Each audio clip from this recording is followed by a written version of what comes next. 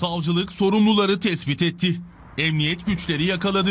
Kartal'da çöken ve enkazında 21 kişinin can verdiği, 14 kişinin yaralandığı Yeşilyurt Apartmanı'na ilişkin soruşturma kapsamında iki şüpheli tutuklandı.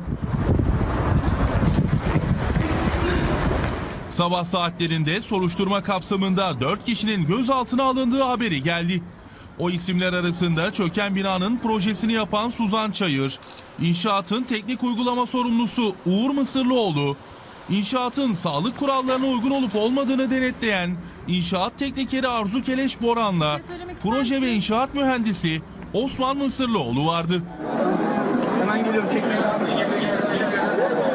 Kartal İlçe Emniyet Müdürlüğü ekipleri tarafından gözaltına alınan 4 kişi sorgulanmak üzere polis eşliğinde adliyeye sevk edildi. Şüpheliler soruşturmayı yürüten iki savcıya ifade verdi.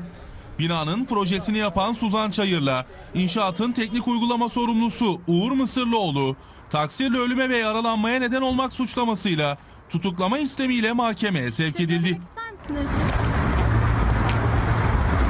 Savcılık Arzu Keleş Baran ve Osman Mısırlıoğlu'nu da adli kontrol şartıyla mahkemeye sevk etti. Baran ve Mısırlıoğlu'nun yurt dışına çıkışlarının yasaklanması da talep edildi.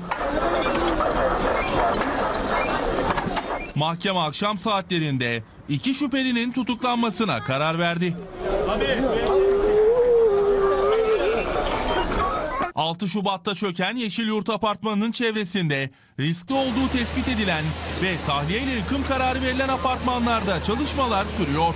12 dairenin olduğu 6 katlı Nuri Bey Apartmanı'nda tahliye işlemleri sabah saatlerinde başladı.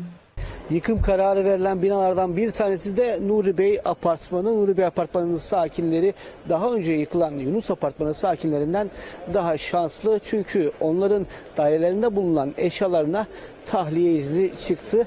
Daire sahipleri eşyalarını tahliye etmeye başladı.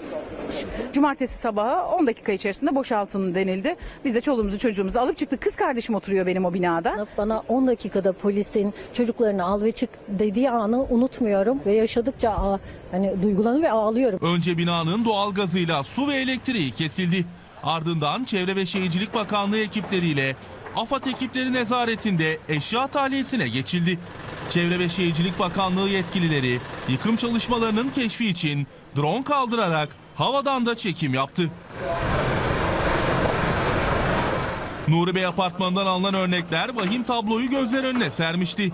Binanın yıkımı tamamlanan 10 katlı Yunus apartmanından daha güçsüz olduğu belirlenmişti. Süleyman Soylu İçişleri Bakanımıza çok çok teşekkür ediyoruz. Yıkımın ilk gününden beri bizimle çok ilgilendi.